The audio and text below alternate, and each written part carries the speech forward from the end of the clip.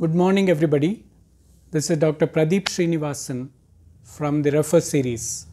REFER stands for Radiology Education for Enhancement of Radiologists.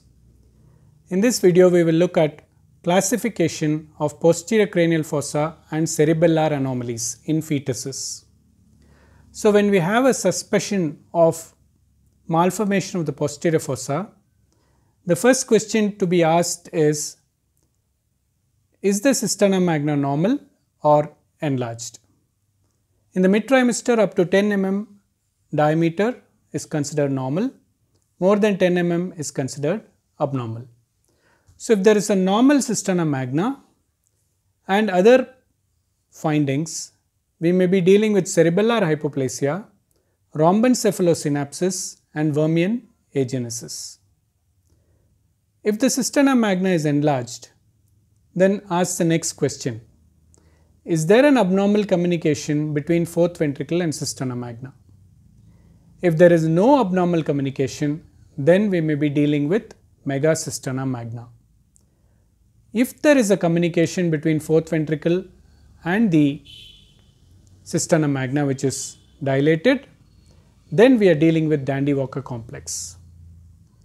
In Dandy-Walker complex, we have Blake's pouch cyst, Vermian hypoplasia and Dandy-Walker malformation. In Blake's pouch cyst, the vermis, its fastigium and the tentorium are normal. In Vermian hypoplasia, the vermis and its fastigium are abnormal and the tentorium is normal. In Dandy-Walker malformation, the vermis, its fastigium are abnormal. There is elevation of vermis and elevation of tentorium and that is Dandy-Walker malformation. So, I have described this with the help of this tabular column. To make things much clearer, I will take you through each example with the use of line diagrams in color. Now, here we have a normal anatomy in mid sagittal view and in axial view. The pons brainstem are in green, the vermis is in brown, the fourth ventricle is in yellow, the tentorium is in blue, the clivus and the occipital bone are in black. So, now here we have a non-dilated cisterna magna. There is no communication between the fourth ventricle and the cisterna magna abnormally. The vermis, fastigium and torcular are normal. So, this is how a mid-sagittal view and an axial view would look like in a fetus whose posterior fossa is normal. Now, we have a dilated cisterna magna. Look at the diameter of the fluid space posterior to the cerebellum, it is more than 10 mm. But there is no communication between the yellow fourth ventricle and the dilated cisterna magna. The vermis, fastigium and tentorium are normal. So, this is megacisterna magna. Now, again we have a dilated cisterna magna, but there is an abnormal communication between the yellow fourth ventricle and the dilated cisterna magna. However, the vermis, fastigium, tentorium are normal. So, this is a Blake's pouch cyst both in mid sagittal and axial view. Now, again we have a dilated cisterna magna, but there is an abnormal communication between the fourth ventricle and cisterna magna. Now, look at the vermis, it is abnormally small, the fastigium is shallow and the torcular is normal. So, this qualifies for Vermian hypoplasia.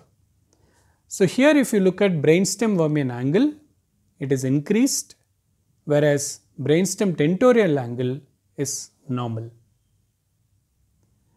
Now, we have a dilated cisterna magna, an abnormal communication between fourth ventricle and cisterna magna.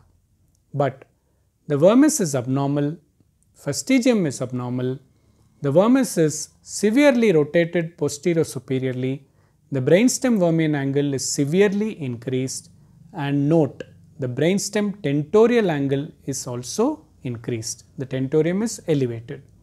This is Dandy-Walker malformation. Now we come to the other subset. There is no dilated cisterna magna, but look at the cerebellum.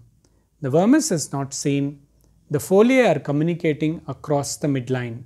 This is rhombencephalosynapsis. Now again the cisterna magna is not dilated. The vermis is normal, but cerebellum is small. This could be cerebellar hypoplasia, pontine hypoplasia or cerebellar destruction. Now when the cisterna magna is not dilated, the vermis is normal, brainstem is normal, but however, due to an extra structure in black which is causing extrinsic pressure effect on cerebellum, on vermis, then it is a arachnoid cyst. Thank you for your patient listening. This is from the refer series which is radiology education for enhancement of radiologists. I have multiple courses on fetal imaging, especially a certificate course on fetal echo, certificate course on fetal aneuploidy and a certificate course on anal sonography in adults. If students and radiologists are willing to take these courses, learn the subject, take an exam and qualify for the certificate, you can contact me at my cell number 9844129465 or look up refer.medinet.org. Thank you very much. Dr. Pradeep Srinivasan. Happy learning. Jai Hind.